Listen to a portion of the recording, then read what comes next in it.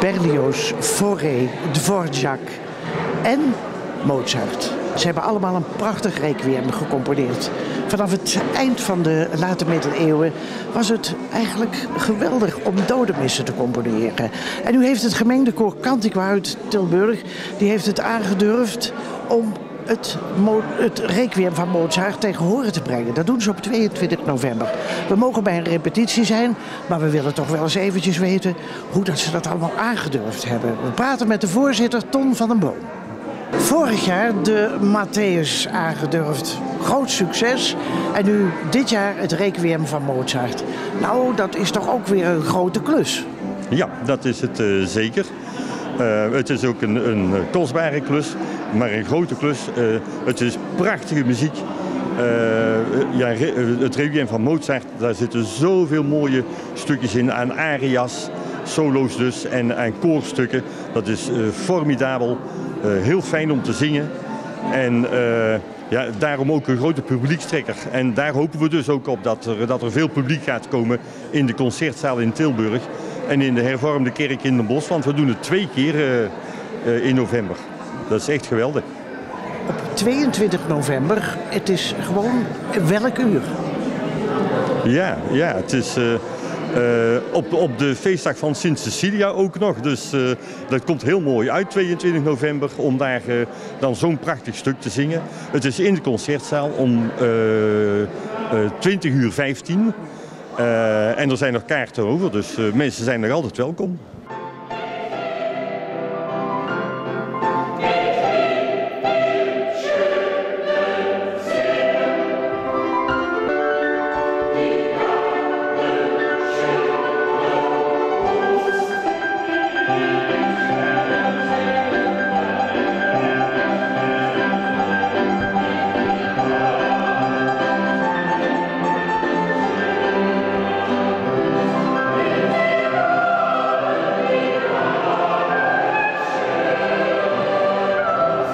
Jullie hebben het aangedurfd inderdaad om de Matthäus te zingen.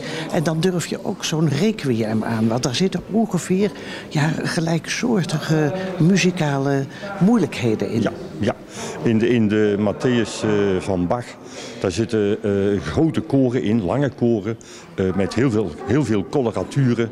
En ja, bij Mozart is dat eigenlijk ook grote koorstukken met moeilijke, moeilijke coloratuurpassages.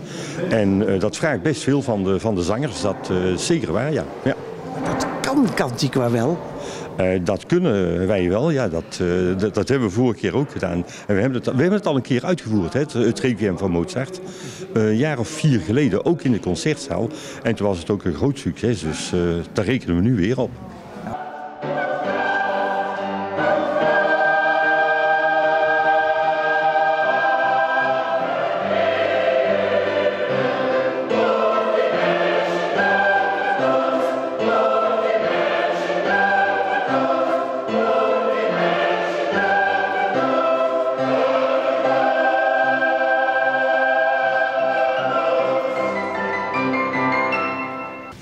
Arjan van Baast, je hebt het weer aangedurfd om het uh, meest beroemde van alle religieuze werken aan te pakken. Want het is een werk wat in 1791 gecomponeerd is door Mozart. is niet afgemaakt door hem, maar hij ging gewoon dood.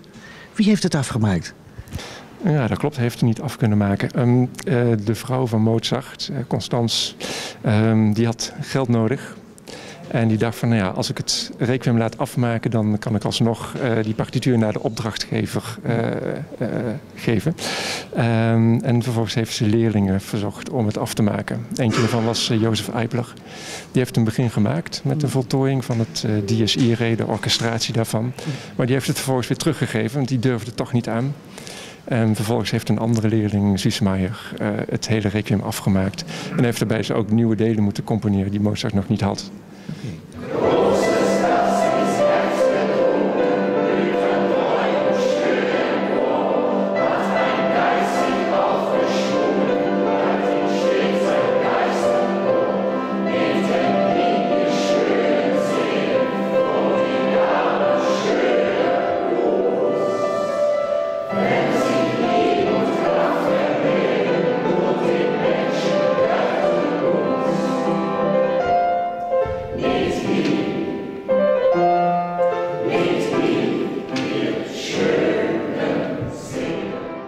Gaan jullie dat 22 november gaan jullie dat in Tilburg in de concertzaal uh, opvoeren.